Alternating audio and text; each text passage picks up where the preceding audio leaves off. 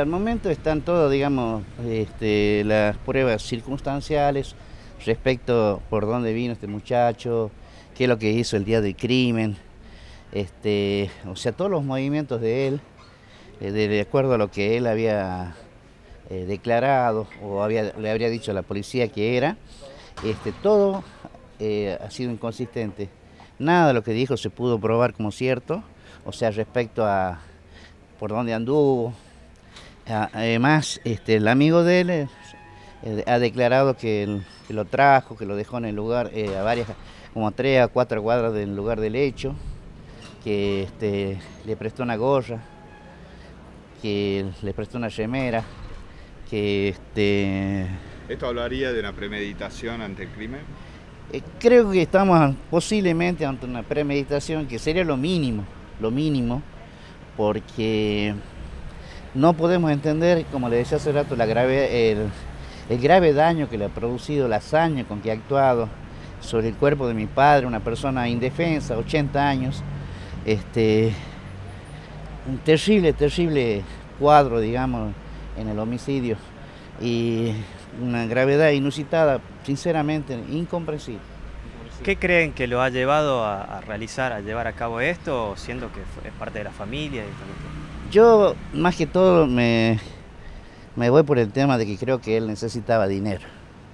Necesitaba dinero, mi padre tenía mucho dinero guardado en distintas partes de la casa parte del dinero nos ha entregado la policía eh, hace unos días.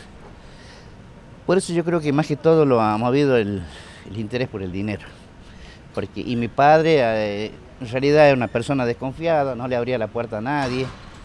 Eh, y yo pienso que él ha ido a pedir el dinero y mi padre entre negativa hizo lo que hizo cree que eh, actuó solo en este crimen? ¿Cuáles eh, las hipótesis? ¿Cómo lo están manejando judicialmente? Este, en principio eh, habría actuado solo, pero estamos este, ante una posible complicidad del amigo de él, porque es la persona que le presta la remera, como decía, que le presta la gorra, que lo trae a tres cuadras del lugar del hecho.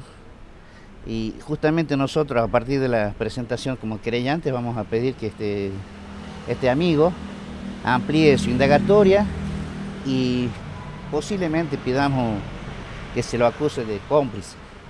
Si lo detenga, se lo acuse de cómplice, a los efectos de que él este, esclarezca realmente cuál ha sido el, digamos, la ayuda o el papel en el hecho, exactamente, sí.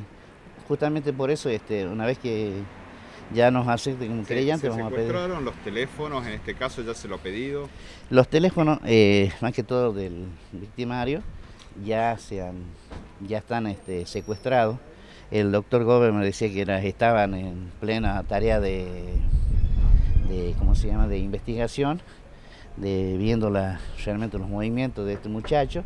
Entonces estamos esperando eso, estamos esperando, eh, esperando las pruebas genéticas, hay rastros de zapatillas, hasta las zapatillas que usó este muchacho no eran de él, eran del hermano de él.